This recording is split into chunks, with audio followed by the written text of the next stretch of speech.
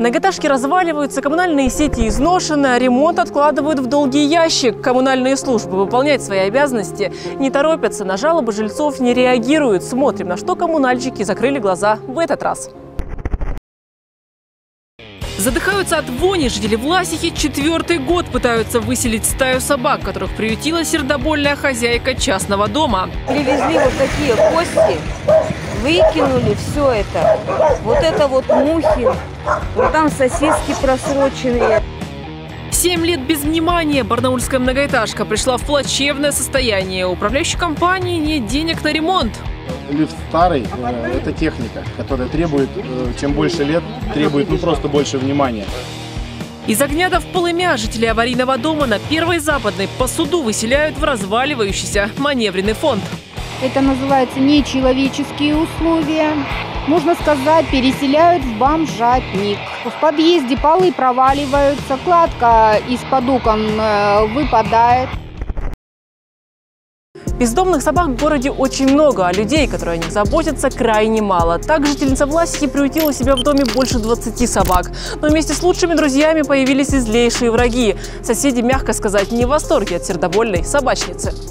Привезли вот такие кости, выкинули все это.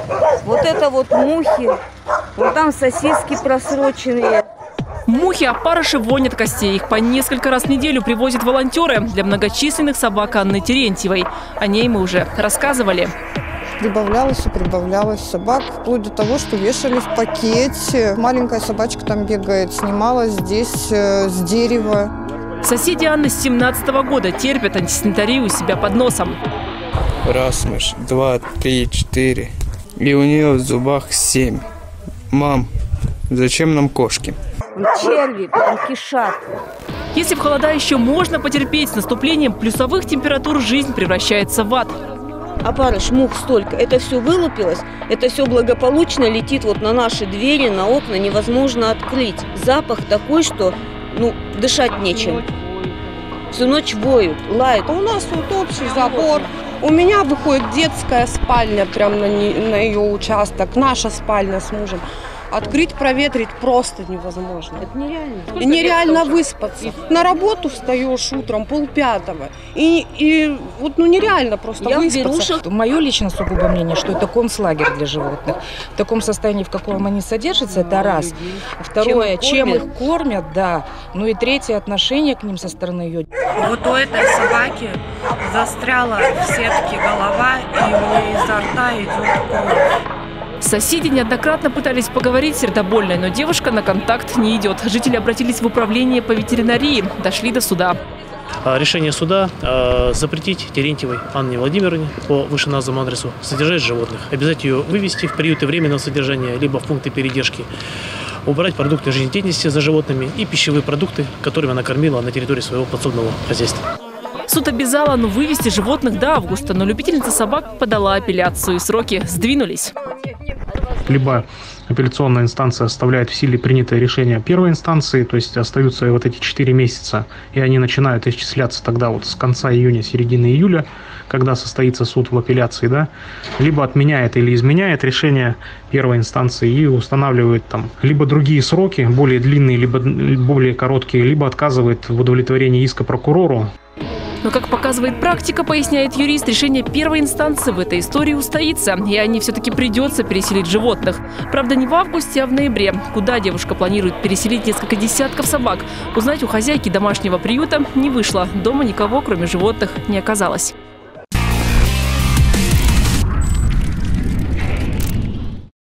У вас несчастные случаи были? Нет? Будут. Помните отрывок из известного советского фильма? Так и в этом дворе. Вот детская машинка на пружинках. Интересно, по какому ГОСТу она установлена? Наверное, выяснится, когда, не дай бог, здесь случится несчастный случай. Лифт старый э, – это техника, которая требует, э, чем больше лет, требует ну просто больше внимания.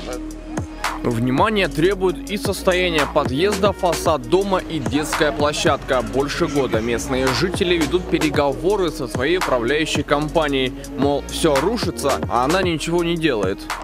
За 7 лет, вот сколько управляет компания, ни в одном подъезде ремонта по сути не делалось. То есть вот а, общаясь с жильцами, то есть конкретно говорят, ни в одном подъезде никакого ремонта не делалось. Но у коммунальщиков своя правда. Руководитель управляющей компании разложила нам траты.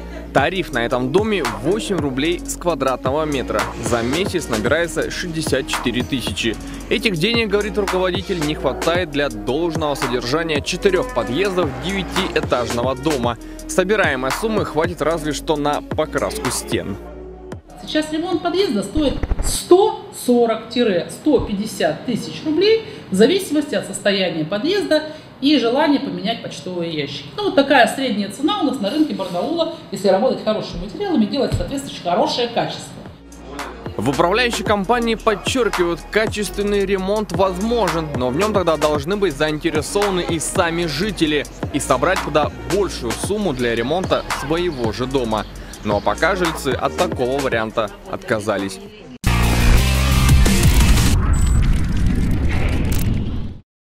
Жители аварийного дома на Первой Западной 47А должны переселить из одной дыры в другую. В старом доме эти дыры должны были вот-вот образоваться. А в новом дыры уже есть. Аварийщики, мягко сказать, не рады такому решению и настаивают на благоустроенном жилье. Антисанитарные условия, пол проваливается. Вот это все следствие влаги, вот это вот, что стены разрушаются. Грибок. Грибок, это однозначно. То есть эти Вот помещения- врезка воды идет в комнату. Здесь не надо быть профессионалом. вода Чтобы комнату. сделать вывод. Все капает. Силикатная 9А. Колоритненько. Об этом доме мы уже рассказывали. В него переселяют жители аварийных домов. Сейчас очередь дошла до жильцов разваливающегося дома на Первой Западной 47А. Люди в шоке. Это называется нечеловеческие условия. Можно сказать, переселяют в бомжатник. По-другому не скажешь. В подъезде полы проваливаются, кладка из-под окон э, выпадает. Электропроводка вся висит по коридору. Там также висят и трубы все по коридору. Щитки не убраны старые. Ну, отвратительные условия. Полы проваливаются на первом этаже. Там латочки сделаны. Идешь и запинаешься об них. Износ дома на Первой Западной, где сейчас живут женщины, более 80%. Прошлым летом одна из жительниц чудом спаслась после обрушения потолка. Люди боятся, что и в этом доме их будет ждать та же самая история. Ведь даже визуально жилье на Силикатной не внушает доверия. Мы будем настаивать на экспертизе данного дома. Это называется из огня до в полыме. По-другому здесь уже ничего не скажешь. Мало того, что здесь рядом промзона, далеко до остановки и остальных благ, скажем так, цивилизации. Просто еще люди не учли, что у нас дети, которые учатся, есть несовершеннолетние. Ребенок несовершеннолетний абсолютно сюда не дойдет. Со школы и в школу потом идти. Я не представляю даже, как это можно сюда заселить нас с детьми. Выселяют жильцов с Первой Западной комитет ЖКХ города. Идут суды. Комитетом жилищно-коммунального хозяйства в суд были направлены исковые заявления к жителям квартир номер 4, 10, 11 и 12 о выселении их в жилые помещения маневренного фонда. Э, Всего должно быть предоставлено 5 помещений маневренного фонда. В ходе осмотра выяснилось, что практически все помещения маневренного фонда в городе Барнауле находятся в неудовлетворительном состоянии. Э, В стенах домов находятся трещины, э, разрушается кирпичная кладка, антисанитария и прочие нарушения строительных норм и правил. Поэтому эти помещения, на наш взгляд, непригодны для проживания. Специалисты комитета ЖКХ нам пояснили, что жителям необходимо переехать в квартиры маневренного фонда на время проведения ремонта дома на Первой Западной. Специалисты комитета выступают против дальнейшего проживания э, жителей в квартирах, где есть опасность обрушения перекрытий. Э, после проведения ремонта, приблизительно в течение двух-трех месяцев, жители смогут вернуться в свои квартиры или остаться в помещениях маневренного фонда. Кстати, представители комитета заверили, что весь маневренный фонд в городе соответствует всем жилищным требованиям. Квартиры отремонтированы, дома даже близко не являются аварийными. Посмотрим, что покажет экспертиза, которую будут заказывать жильцы за свой счет.